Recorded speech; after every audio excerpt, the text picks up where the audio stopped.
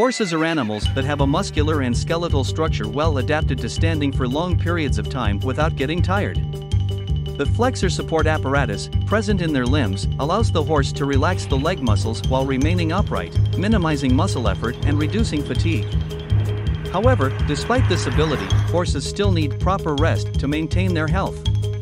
They usually sleep lying down for a few hours a day, in a sleep period that is divided into shorter naps during the day and a longer sleep at night. Lying down sleep is important to reduce pressure on the horse's muscles and joints, allowing them to rest completely.